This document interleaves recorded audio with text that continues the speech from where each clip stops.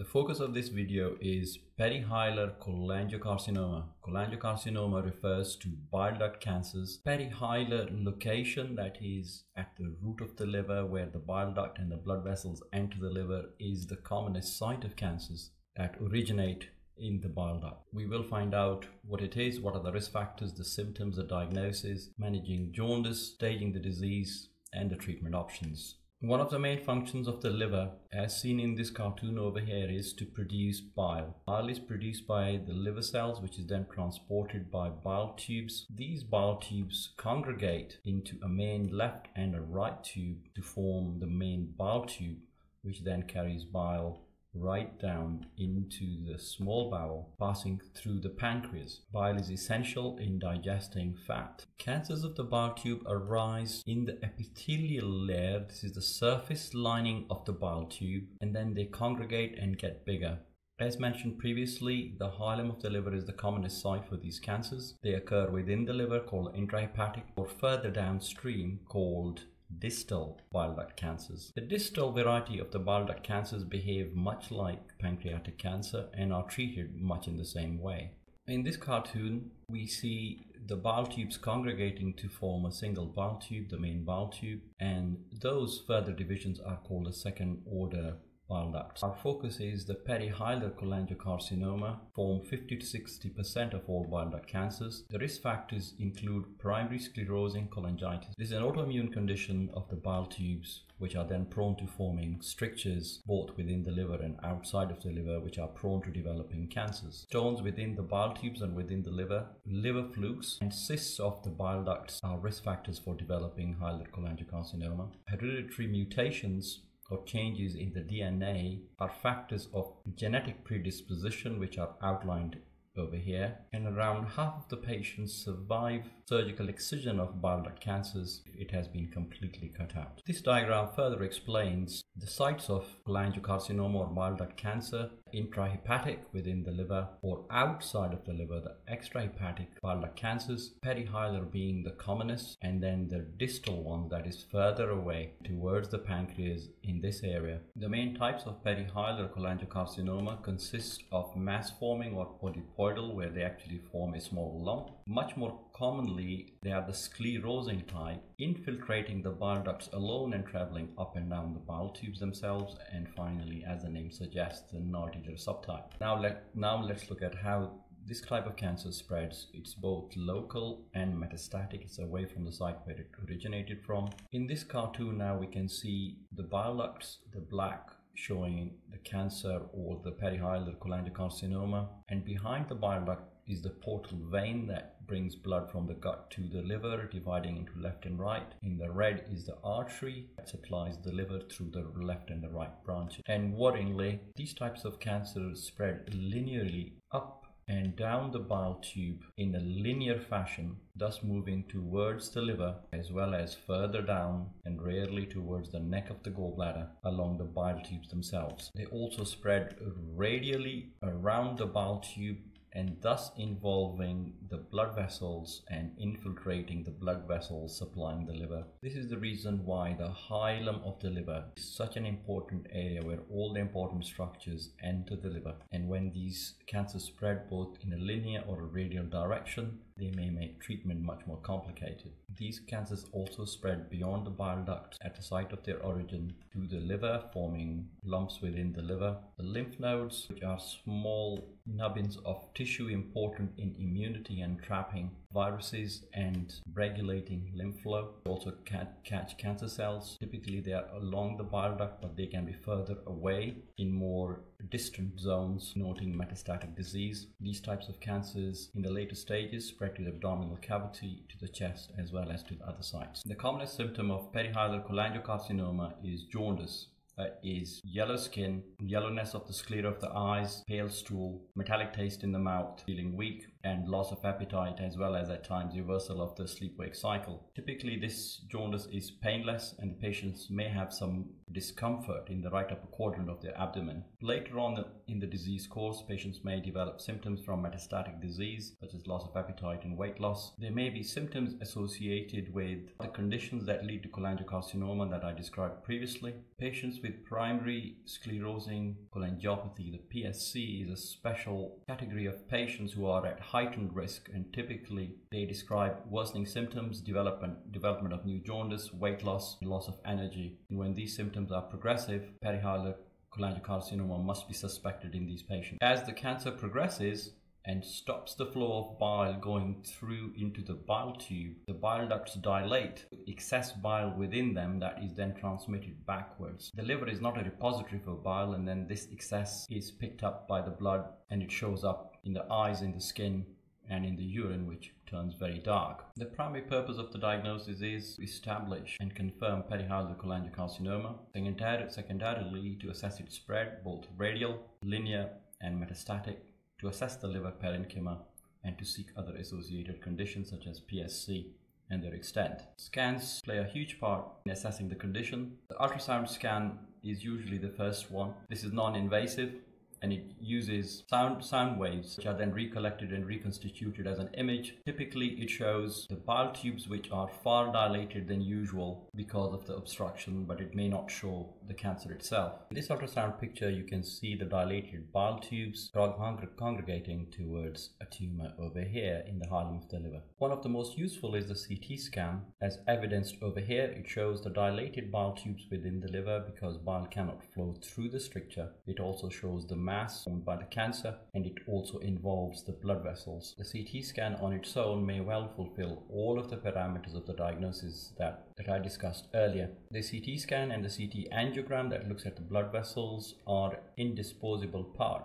of trying to understand the extent of the tumor and whether or not it's removable with surgery. The MRI scan is the other indispensable part of the tumor because it shows the bile tubes as well as the liver in a lot more detail and it establishes the extent of the tumor, especially in a linear fashion to have a good idea.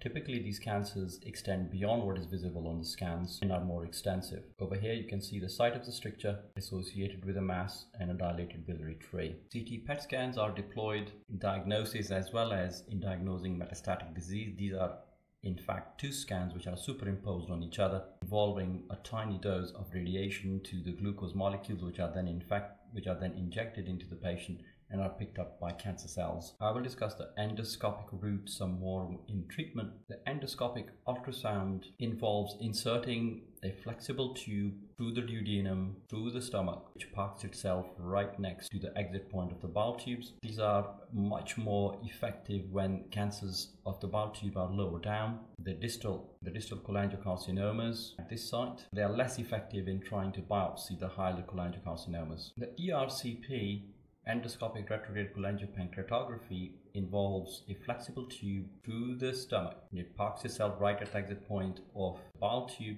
and then it inserts a camera up the bile tube which takes direct view of the bile tube itself and can, and can take biopsies. This is a view from a cholangioscope looking up into the bile tube with its two divisions seen clearly and this is a healthy bile tube. This is a cancer that has grown around bile tube which is now progressing. It is important to point out that a biopsy is not always essential in providing treatment because detecting the cancer cells can be very elusive. Finally, if endoscopy is not successful, then in most cases of perihilar cholangiocarcinoma, a radiological procedure called PTC is performed where under ultrasound guidance as well as injecting dye core fluoroscopy X-ray guidance. Inflexible wires are inserted into the bile tube that traverse the stricture and then come down into the small bowel. These are then used to insert brushes which, can, which catch cancer cells as well as sometimes a direct biopsy of the site. One of the most important components of management is to treat the jaundice, whether or not the tumor can be removed with surgery. Now, it is also possible that surgeons may decide to operate without treating the jaundice first, but that is less common. Typically, jaundice is treated by insertion of stents. These are tubes that lie within the bile tubes themselves. And this principle involves two basic types of tubes. The plastic tubes, which as the name suggests are made out of plastic, or these are metal tubes, which can be bare metal or mesh metal that once inserted then spring open, or they are covered with other material and are removable. The means of doing this are primarily either endoscopic or more commonly radiological depending on the unit that is treating the patient. It is conventional, it is thought that hilar cholangiocarcinomas do not lend, lend themselves easily to treatment through the endoscopic route. I have already shown you pictures of the endoscopic technique. This involves a flexible tube insertion right at the exit point of the bile tube and then inserting a guide wire through the cancer itself, ideally both on one on the left and one on the right side, and then inserting that lie above the stricture with their bottom ends hanging out into the bowel tube. The radiological approach achieves exactly that. In the percutaneous transhepatic approach, a needle is inserted through the skin across the liver tissue and then a guide wire is inserted into the bile tube that traverses the stricture and travels all the way down into the small bowel. Biopsy can be taken at the same time. The stent, depending upon the prognosis of the patients, are then inserted typically on both sides of the liver as shown over here. Patients who are not candidates for surgical intervention are treated with metal tubes such as bare mesh metal stents, ideally both on the right and the left side from the outset to contain the jaundice. Once this is achieved, this by itself is a great means of relieving the main symptom of this cancer, which is jaundice. Fortunately, infections are common and something that have to be prevented during the course of the treatment. The blood tests involve typically the liver function test to assess the jaundice and function of the liver, as well as the tumor marker CA19-9 as a prognostic indicator. Other tests may be performed to assess physiology of the patient and other comorbid conditions as required. Definitive treatment of perihilar cholangiocarcinoma is dependent upon tumor factors and patient factors. Tumor factors that predict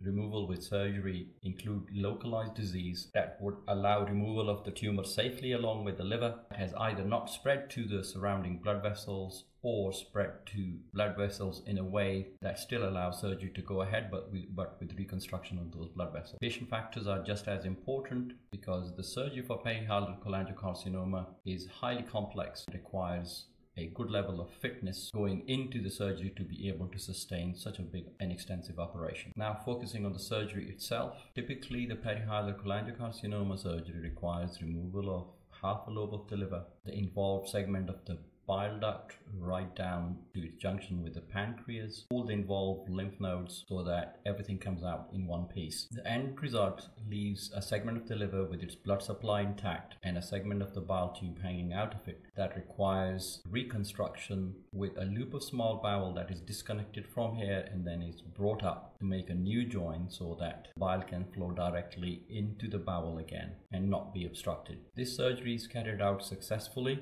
then up to 50% of these patients can look forward to good quality of life and five years survival. Sometimes prior to the surgical excision, it is estimated that not enough of the liver will be left behind. In that case, a part of the liver that is being removed, its portal venous blood supply is obstructed several weeks prior to surgery to allow the other side grow some more so that it can function normally and patients are not subjected to liver failure after surgery. Transplantation has been deployed in the treatment of hilar cholangiocarcinoma, especially in patients with primary sclerosing cholangitis. Initially, it was attempted for good prognosis tumors, but increasingly those that are localized and have not spread beyond the confines where they originate, some reasonable results are being reported. We have to wait for long-term data to make a final decision on this aspect of treatment. Regardless of whichever treatment pathway patient takes, it's very important to treat and palliate the jaundice effectively and to prevent infection within the biliary wherever possible. Chemotherapy is deployed in three settings. Adjuvant once tumor has been removed surgically.